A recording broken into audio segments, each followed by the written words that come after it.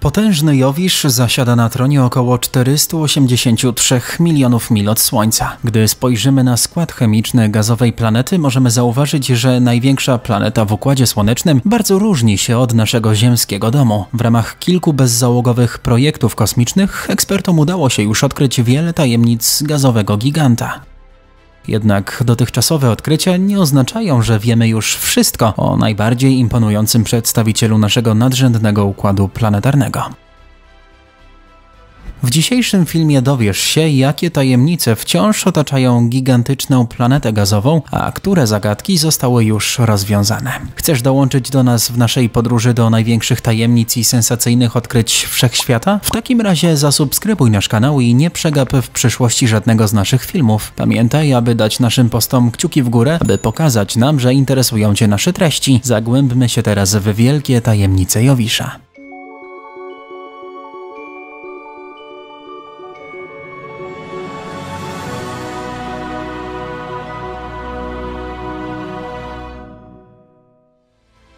Jowisz budowa, wymiary i kształt.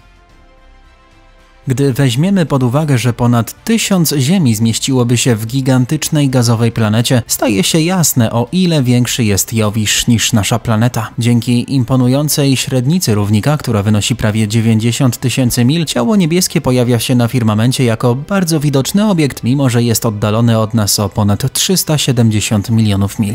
Starożytni Rzymianie byli pod wielkim wrażeniem tego błyszczącego punktu na nocnym niebie, dlatego nazwali Jowisza na cześć ich głównego boga.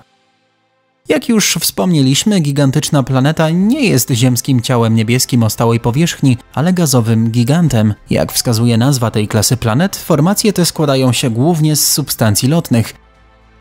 Chociaż Jowisz składa się głównie z gazów, nadal można sobie wyobrazić, że ma solidne jądro planetarne. Jej charakterystyczny skład chemiczny umożliwia również planecie obracanie się wokół własnej osi z niesamowitą prędkością.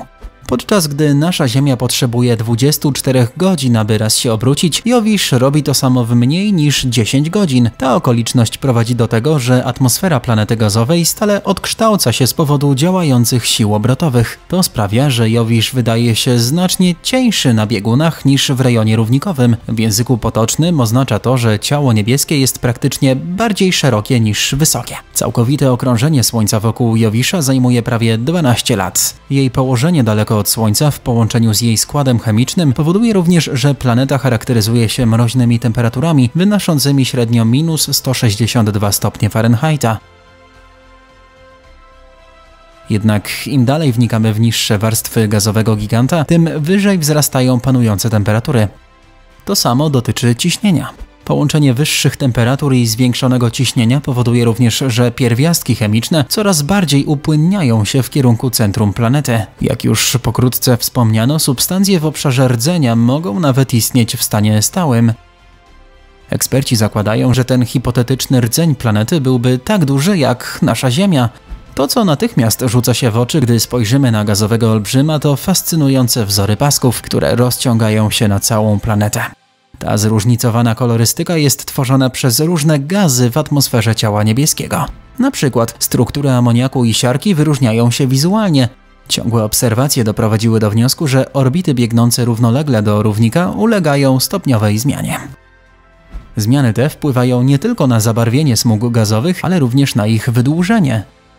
Małe plamy, które zdobią orbity gazowe, to z kolei gwałtowne trąby powietrzne.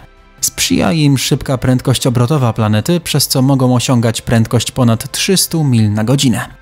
Ziemskie tornada i huragany giną po krótkim czasie, a niektóre porównywalne formacje na Jowiszu okazują się znacznie bardziej długotrwałe. Na przykład gigantyczny huragan znany jako Wielka Czerwona Plama szaleje w najwyższych warstwach atmosfery gazowego olbrzyma od co najmniej 300 lat. Podobnie jak Saturn, Jowisz ma również niezależny system pierścieni. Ten system pierścieni składa się z małych cząstek pyłu i skał. W porównaniu z setkami tysięcy pierścieni otaczających Saturna, izolowane odpowiedniki Jowisza są znacznie mniej spektakularne. Jowiszowi towarzyszy co najmniej 79 księżyców. Zdecydowanie najsłynniejszymi satelitami Jowisza są cztery księżyce galilejskie: Ganymedes, Kalisto, Io i Europa. Co się dzieje wewnątrz Jowisza? Jak wspomniano wcześniej, Jowisz charakteryzuje się mroźnymi temperaturami. Tym bardziej zadziwia zatem fakt, że temperatury w pobliżu centrum sięgają ponad 43 tysięcy stopni Fahrenheita. Jak powstają te drastyczne różnice temperatur? Gazowy gigant składa się prawie wyłącznie z helu i wodoru. Zwykle te pierwiastki chemiczne występują w gazowym stanie skupienia. Jednak gdy wodór jest wystawiony na działanie ogromnych temperatur i ciśnienia, ma naturalną właściwość upłynniania, a nawet tworzenia metalowych kształtów.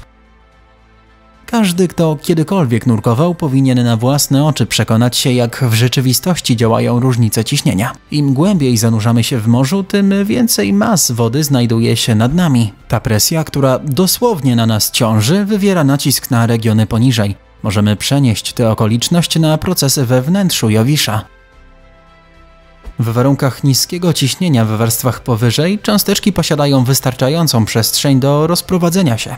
Zrozumiałe jest, że ta okoliczność zmienia się, gdy ciśnienie w obszarach leżących poniżej staje się coraz wyższe. Prowadzi to do tego, że omawiane cząsteczki są powoli, ale pewnie ściskane razem, zanim ostatecznie całkowicie stracą swój stan gazowy i staną się płynne. Na dnie głębokiego morza panuje ciśnienie około 1000 barów.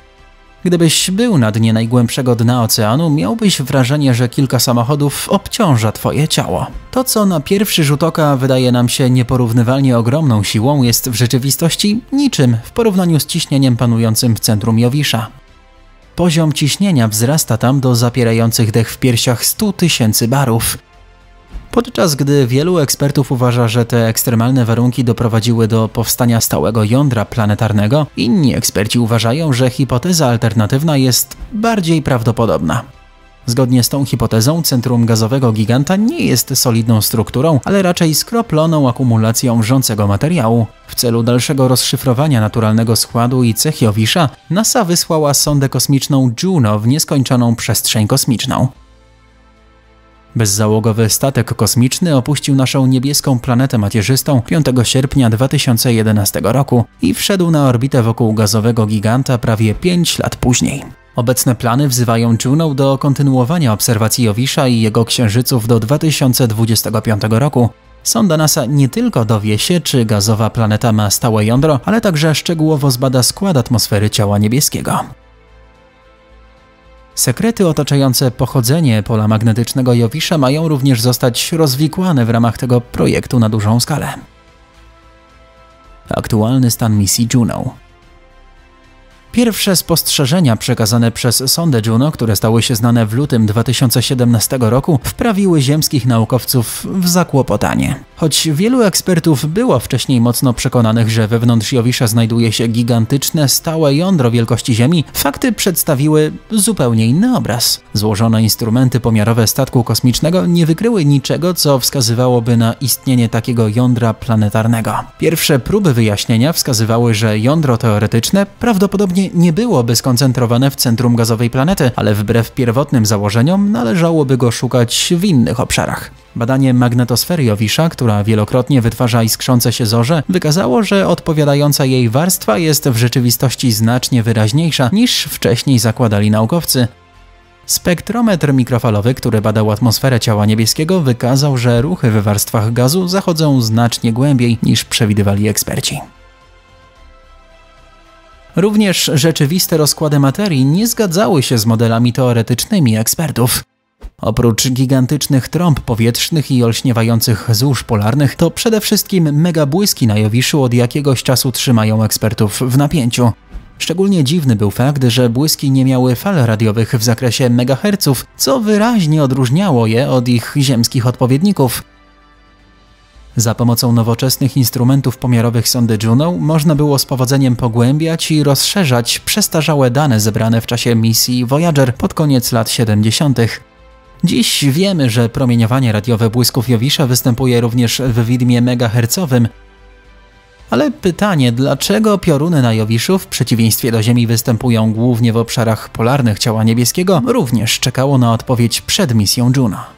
Obecnie wniosek jest taki, że pogoda na gazowej planecie nie jest tworzona przez energię promieniowania słonecznego, ale przez siły, które samo ciało niebieskie wytwarza w swoim wnętrzu. Nierozwiązaną zagadką pozostaje jednak to, dlaczego błyskawica przebija się przez atmosferę głównie na biegunie północnym, a nie na biegunie południowym.